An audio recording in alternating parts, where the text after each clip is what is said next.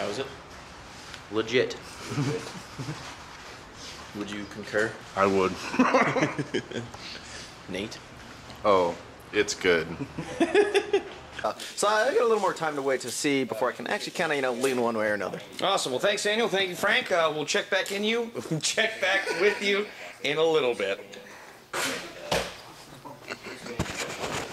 Oh, Do we have to redo that? yeah, we do. We do.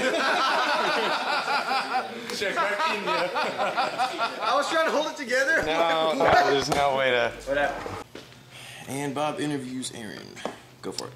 All right, Aaron. Uh, we just went over chapstick with Spencer. Uh, I have a burning question to ask you. Where do you put your chapstick? Uh, I don't use chapstick, actually. You're a liar. If it looks if it looks badass, then print it up, do it.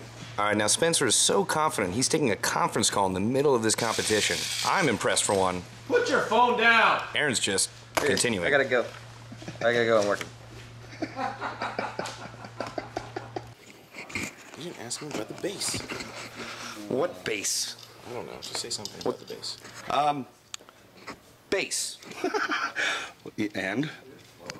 That was it. Oh, okay. Okay, so what? Uh, what do you feel about? Uh, what the is a bass? A bass. Oh, a the bass guitar. Okay. Come on, Bob. Every time I got. All right, keep going. Keep going.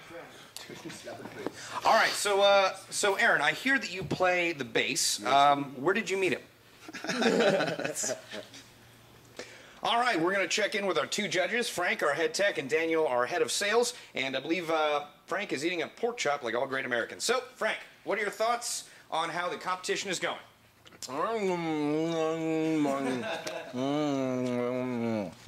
I mm-hmm. completely agree.